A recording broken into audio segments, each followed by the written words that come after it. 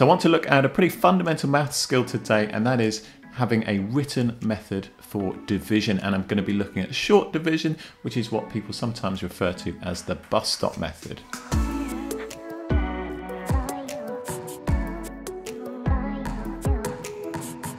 The reason I thought it would be useful to look at this is because I know that people find it really difficult to remember and to do this accurately. And I know that because I was definitely one of those people. It took me so long to remember how to do this.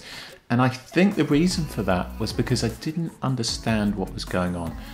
I had just been shown how to follow this routine that you put the number here and then you end up carrying over a number and you know, I was kind of got confused which bits went where and all that sort of stuff. So once I understood what was going on, you know, I, I remembered it perfectly from that point onwards. So I want to share that with you today, show you what is going on when we use that method of division. Hopefully, if you're one of those people that struggle to remember it, it might seem a bit more complicated at first when I kind of tear it apart and, and show you what's going on behind the scenes, as it were. But once you've got your head around it, it should really help you to remember it. So let's get started with an example. I'm going to do 714 divided by 3. I'm going to show you how we normally do that and then at the same time I'll show you kind of as I'm taking it apart so you can see what's happening as we go along. So we'd normally write it like this, wouldn't we?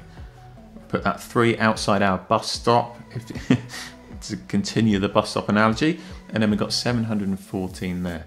So that 714 represents 700 and 10 and then we got a 4 as well in our ones column, haven't we? So what we're doing overall really is we're saying if I was counting up in threes, how many would I have got to by the time I get to 714? So 3, 6, 9, 12, and so on.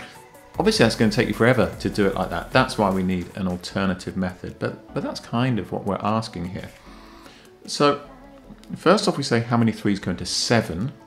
So 3, 6, two lots of three will definitely fit in. Once I get up to nine, that's too many, isn't it? That's bigger than seven. It's bigger than the number that we're talking about. So I can't fit three lots of three into seven, but I can fit two lots. So I put that two up there. What's actually happening, if we look at the second version, is that we've got our hundreds column here. So actually what we're doing is we are working out how many threes will fit into 700.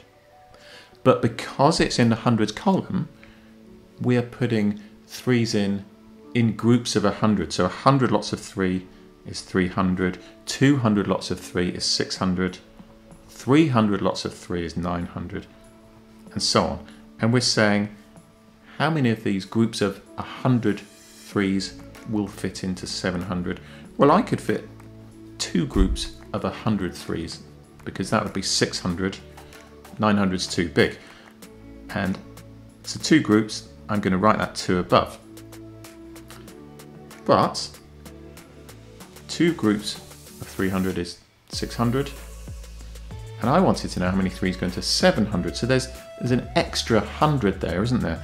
Well, what we do is we shift that 100 over to the next column. We deal with it when we're in our tens column. And if I write, so we have that 100 left over, if I write that 1 there, because of where I've written it in front of the 10, it's representing 100, isn't it?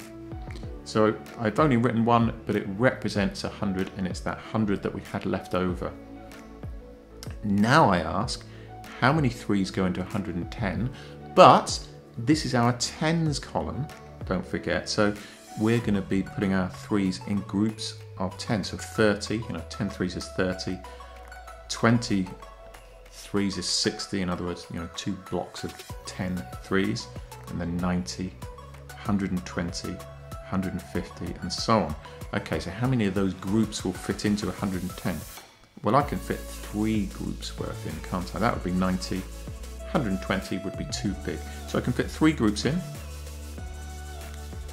Three groups of 30s is, is 90 well, actually, I was wanted to know how many threes fit into 110, so I got 20 kind of left over, 20 that I still haven't accounted for. Um, and we're going to carry that over to our next column, which is our ones column. And if I just write 2 in front of the 4, that 2 represents 20, doesn't it? So that's the 20 that we're going to deal with. Going back to the original method, just to catch up with what I did there. So we had said how many 3's go into 7, two 3's go into 7, and there's one left over. And then we say how many 3's go into 11. Well, 3 lots of 3 is 9, so I can definitely fit three threes into 11, and there will be 2 left over. That 2 will then sit in front of the 4 to represent 24. And then the final bit, how many 3's go into 24? It is 8. Eight threes are 24. And the same on the expanded version here. How many 3's go into 24? It is 8. So as I said, if you haven't sort of thought about what's going on before, or you haven't seen this explained like this before, it probably just seems a bit more complicated to start with. Um, but that extra complication brings with it some understanding. And if you can get your head around that, and it's worth persevering with, you will be able to remember this forever. Okay, and you won't just have to remember the routine that I carry this over and da da da da, because you'll understand what's going on, and that's the best way to remember stuff by understanding it. Let me show you one more example and then we'll wrap everything up. I'm going to do 896 divided by 7 this time. I'm going to do the same thing again. I have the, the expanded version and the short version as well so you can put them side by side and hopefully see what's going on. Right, so we would write it like this, wouldn't we? 896 divided by 7, 896, but I'm going to expand that out. So I've got 890 and 6 and I want to know how many sevens will fit into that. I'm going to do one column at a time. So the first thing is that 8, you know, it's 800, it's in the hundreds column. So I'm asking how many sevens go into 800. That's really what's happening in that first column. But I'm going to count up in groups of 100, 100 sevens at a time. So 700, 1,400. In fact, already that's too big, isn't it? So I can only fit one group of 100 sevens in. So I'll put that one there, one group of 100 sevens, and I'll do the same over here. That's that one. How many sevens go into eight, we would say, wouldn't we? Well, one seven, but you've got one left over, one remainder, which carries over like that. Back to the expanded version then. So we said how many sevens go into 800, but we're doing it in groups of 100. Well, 100 sevens is 700. I've got 100 left over, which needs to be accounted for, so I'm going to deal with it. And if I put a 1 in front of that 9, the 1 is actually representing 100, isn't it? So the next step, how many 7s go into 190? But this is our 10s column, so I'm going to count up in 10 groups of 7 at a time. So 70, 140, 210, and already that's too big, isn't it? So I could fit two groups in. I write that 2 there. Two groups was 140, and I was interested in how many fit into 190, so there's 50 left unaccounted for there. We're going to deal with that in the ones column. And if I just put a 5 in front of that 6, that 5 is now representing 50, right? Let's catch up with the short version. So it was how many 7s go into 19? Well, two lots of 7 is 14 and there's 5 left over. So then the final thing, how many 7s go into 56? That is 8. 8 lots of 7 is 56. Same over here, how many 7s go into 56? That is 8. So 896 divided by 7 is 128.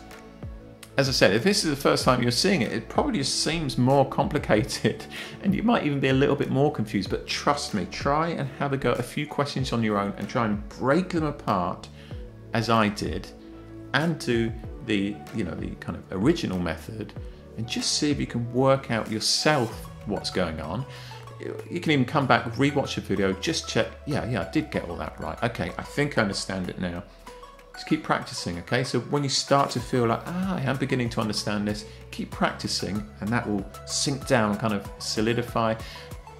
And you will hopefully find that you've got this remembered for life if you can understand it like this and remember it like this, you will have that for life, okay? Instead of just remembering the routine and, oh, I carry this number over here.